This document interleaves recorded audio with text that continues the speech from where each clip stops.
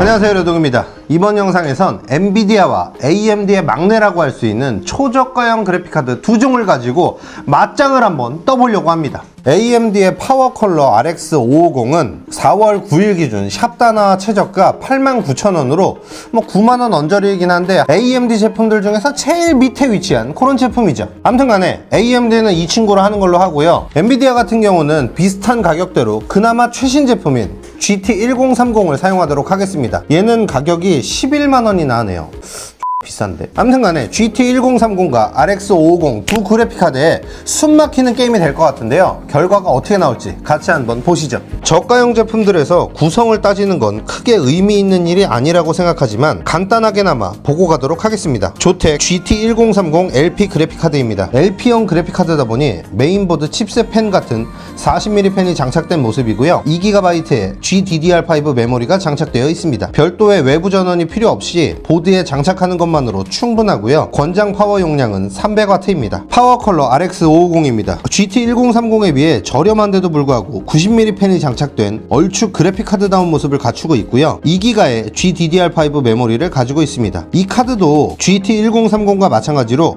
외부 전원이 필요하지 않습니다. 일단 겉모습만 봤을 때는 요 놈이 요 놈을 압살하게 생겼는데 일단 테스트를 한번 봐야 되겠죠? 테스트 시스템은 아래와 같습니다. 9400F, ASUS 310, 마이크론 3200 3200CL22 8기가짜리 램 2개를 사용했어요. 램 클럭이 3200이지만 인텔 시스템에다가 장착을 했기 때문에 2666으로 동작하는 점 참고해주세요. 테스트 프로그램으로는 3DMark를 사용했고요. 게임으로는 저사양 그래픽카드인 만큼 오버워치와 롤을 진행해봤어요. 먼저 3DMark입니다. Time Spy 점수는 RX550이 1603점 GT1030이 1247점을 기록했고요. 그래픽 스코어는 RX550이 1400점 GT1030이 1100점을 기록하면서 RX550이 우세했습니다. 파스에서는 차이가 더 크게 벌어졌는데요. RX550이 총점 4546점으로 총점 3272점을 기록한 GT1030에 비해 압도적으로 앞서는 모습을 보입니다. 그래픽 점수는 GT1030이 3539점, RX550이 5022점입니다. 말이 더 필요한가요? 벤치 프로그램에선 그냥 얘가 얘를 압살한다고 보시면 돼요. 온도면에선 두 제품 모두 평균적인 온도였습니다. 타스 테스트 중 평균 온도 30에서 33도를 기록했고요. 파스에서도 마찬가지로 33도 정도의 평균 온도를 기록했어요. 다음은 게임 테스트입니다. 먼저 오버워치입니다. 높은 옵션으로 진행을 해봤어요.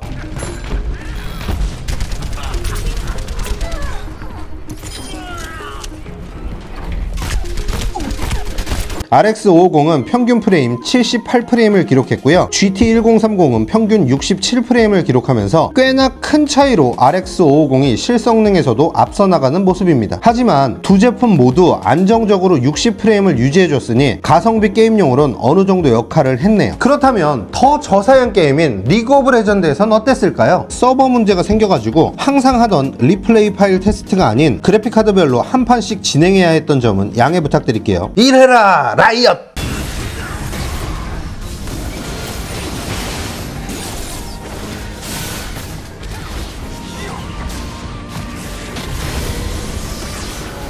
GT1030은 160프레임을 기록했고요. RX550은 186프레임을 기록했습니다. 두 제품 모두 평균 프레임만 따지면 144 모니터를 써도 무방할 정도의 성능인데 한 타에서 프레임이 80에서 100 정도로 떨어지는 경우가 있었으니 혹시라도 구매 예정이시라면 참고해주세요. 자 결론입니다. 오늘 테스트한 결과도 그렇고 다른 자료들을 보셔도 아시겠지만 RX550이랑 GT1030은 거의 차이가 없어요. 아주 조금의 차이가 있는 거죠. 그래도 둘 중에 뭐가 좋냐라고 물어보시면 당연히 얘가 좋 아요. Oh yeah, Mr. Krabs.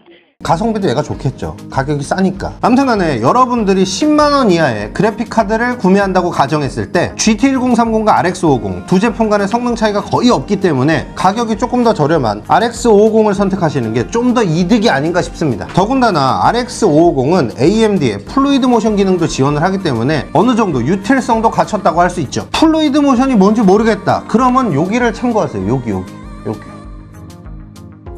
근데 얘네들을 살 바에는 저는 개인적으로 중고 1060을 사는 게 더 이득이 아시겠어요?